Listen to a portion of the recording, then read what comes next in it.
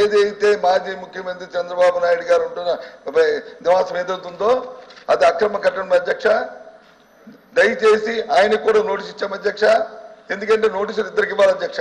అవసరం ఎవరైతే స్థలం తాలూకా మా వాళ్ళు ఉంటారో యజమాని ఉంటారో వారికి ఇవ్వాలి. అందులో ఉన్న టెనెంట్కి ఎవరైతే అద్దె ఆయన అద్దెకుంటున్నా అంటారు కదా అద్దెకున్న వాళ్ళకి కూడా ఇవ్వాలి అధ్యక్ష. కాబట్టి ఆయనకు కూడా ఇవ్వడం జరిగింది అధ్యక్ష. ప్రభుత్వం నుంచి మేము ఒక బా- పదవిలో ఉన్నప్పుడు బాధ్యతగా దీంట్లో ఉన్నప్పుడు ఏ రకంగా దాన్ని సస్టైన్ చేసుకుని మాట్లాడతారు అధ్యక్ష అది? అది కరెక్ట్ అధ్యక్ష? ఏమంటే తొమ్మిది కోట్ల రూపాయలు ప్రధానం తొమ్మిది కోట్ల రూపాయలు నష్టపోయడం తప్పు కదా? తప్ప తప్పు కదా అధ్యక్ష అలాంటి భవనాన్ని అక్కడ కట్టడం మీద కాదని చెప్పి చెప్పి ఇరవై మీలాగే ఇంకా ఇంకో వంద వంద కట్టాలు వస్తే? ఆ రోజు చట్టాలు ఉన్నాయి సార్?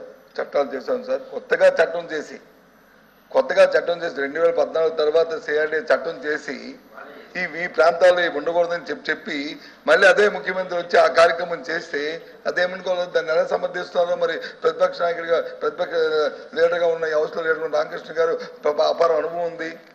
ఏ రకంగా దాన్ని సమర్థిస్తున్నారో నాకు అర్థం అవ్వట్లేదు ఆయన. ఇక్కడ చట్టం దాని పని చేసుకెళ్ళిపోద్ది. ఏదైతే రెండు వేల రెండు వేల పంతొమ్మిదిలో జగన్మోహన్ రెడ్డి ప్రమాణ స్వీకారం చేశారో చేసిన దగ్గర నుంచి రాబోయే ఐదు సంవత్సరాల కాలంలో ఆయన ముఖ్యమంత్రి ఉన్నంత కాలం ఇచ్చిన మాట నిలబెట్టడం ఆ కార్యక్రమం చేయడమే. మరి జయంగా కార్యక్రమం చేస్తారు అధ్యక్ష. ఇది దీన్ని ఇంతటితో ఆపి గౌరవంగా జరిగిన తప్పును ఒప్పుకొని లేకపోతే గౌరవ జరిగిన తప్పుకు వచ్చి ఆలోచించి ఊరుకొని కార్యక్రమం ముందుకెళ్తే చట్టాన్ని గౌరవించడం అవుతాయి ఈ కార్యక్రమాన్ని.